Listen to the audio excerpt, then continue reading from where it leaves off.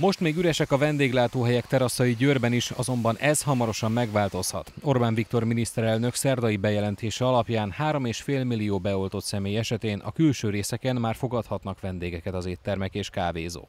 Készülünk, ugye mindig is esedékes volt így a terasz tavaszi nyitás előtt egy nagy takarítás, kis javítások elvégzése, festés, csinosítás, növények visszatelepítése a teraszra, és hát ezekkel készülünk, illetve hát most már készülnünk kell azzal is, hogyha nyithatjuk a teraszokat, akkor a, a zárukészletnek a feltöltésével, illetve hát a pótlással, cserével. A miniszterelnök szerint a jövő hét közepén elérhetjük a kitűzött számot. Bejelentésében elmondta azt is, hogy elengedik az éttermek számára a teraszdíjat, hogy ezzel segítsék őket. Az éttermekben abban bíznak, hogy az emberek hamar visszatérnek hozzájuk. Személy szerint az én véleményemet mondhatom, de remélem, hogy többiek is.